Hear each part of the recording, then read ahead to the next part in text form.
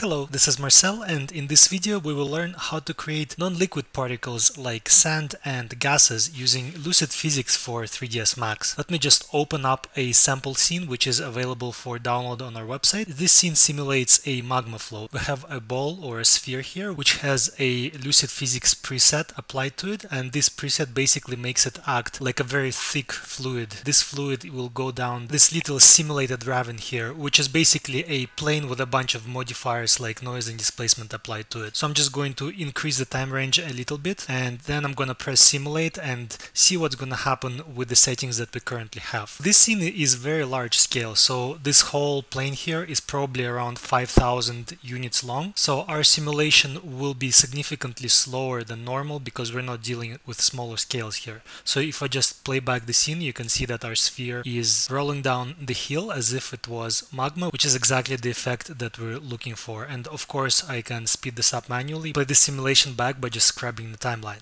So one of the new parameters that we have in Lucid is the ability to turn off fluid constraints. It will prevent the particles from sticking to each other and creating these little clumps that simulate liquid. This will allow us to create more interesting effects like sand, which also require a lot of particles, but they behave differently than a fluid would. So I will just flick off this fluid constraints option and I'm going to increase my time range a little bit more. And just so that we catch our particles when they get to the bottom, I'm also going to use this little sandbox collision button, which is the rightmost option on the Lucid toolbar. And once you click it, you can see that it adds our global scene sandbox here. In fact, our scene was so big that the sandbox almost entirely contained the whole scene inside of it. So I'm just going to increase the size of the sandbox a little bit, that it is about 10,000 units in all directions. I'm going to make it slightly longer, and I'm also going to bring it up a little bit just so that when we have our particles falling on the ground, it will catch them as they fall. I will also increase the timeline a little bit more just so that we have enough time for the particles to go all the way down and maybe about a thousand frames should do it. So I'll resimulate the scene and as you see at the moment we only have 61,000 particles. I will try to increase this count a little bit more in the future but one of the beauties of Lucid is that you can sort of use this low count as a preview and you can see the simulation is happening quite interactively. If you want to really increase this amount of particles you can do this later on and the behavior will not change. So the recording is done and again if I play back my scene interactively just by using the playback option you see that our simulation is quite large and these particles are coming down pretty slow.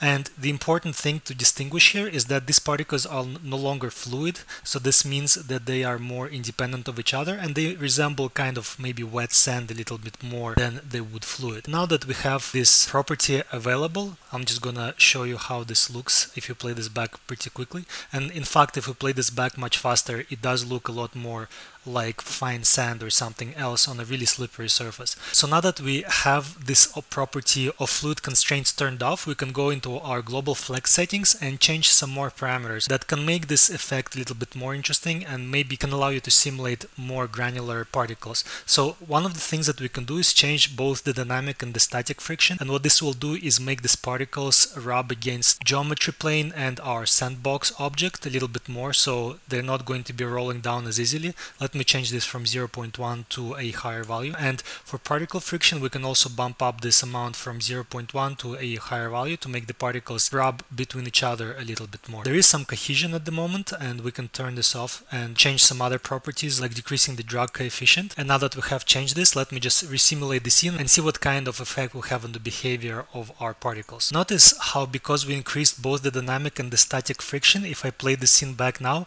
the particles are actually being very sticky and they're making their way down a lot slower than in all the previous simulations. So this is just one more tool that you have to add some more realism for your particles. And as promised now I will just bump up the number of particles inside the simulation and let's see what kind of effect we get if the simulation is a lot more detailed and granular. So I'm going to start simulating and you see that instead of having just 80,000 particles now we have 475,000. And I'm just going to turn off my adaptive degradation inside the scene and now you see that the particles are still behaving behaving the same way as they were before, but the detail is much finer and we get more realistic, interesting, and perhaps more production friendly and production ready results. So the next non-liquid simulation that I wanted to show would be simulating something like air or a gas. I have loaded another scene which is also available on the Lucid samples page and right now we just basically have two spheres. One of them is a solid object which is simulated using a rigid body type and the second object here is a fluid object which has the fluid constraint that we have disabled in the previous use case.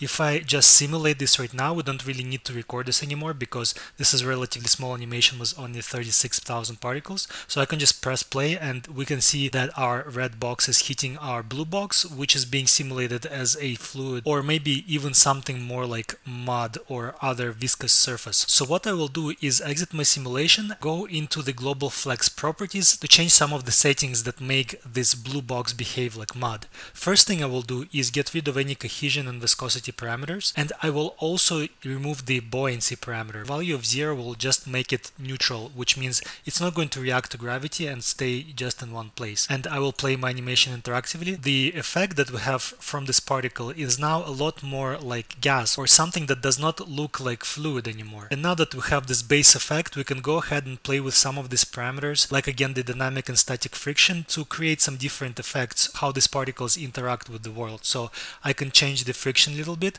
And one other important parameter to note for simulating gases is this damping property over here, because if it's set to zero, the particles will just sort of fly away. Let me show you. So if I have this at zero and I resimulate, the particles will continue moving and will never stop, which kind of is not very realistic if you're simulating a gas, because a gas would naturally be stopped by outside air, and due to this friction, it does not get very far. So by changing this damping parameter and maybe also adding a little bit of drag, let's add a value like 0.4, we can really make the particles behave more like a gas rather than something fluid or viscous. Once again, I'm just going to go into my flex settings and increase the number of particles inside the scene just to see what kind of effect we have if we have much more detail in our simulation. I'm going to change this from 20 to 40 and resimulate my scene. And this is what we get at the end of this simulation. So the basic thing to remember for simulating something more like gas or a cloud as opposed to a fluid is to still have the fluid constraint on, but this time try to reduce the buoyancy or maybe set it to zero and also add some drag and damping into your simulation. If you want your gas to feel a little thicker and be stopped by your surface, you can also change the dynamic and static friction, just as we did when simulating the sand. I hope these effects will come handy in your day-to-day -day usage of Lucid Physics for 3ds Max. Thank you very much for watching this tutorial.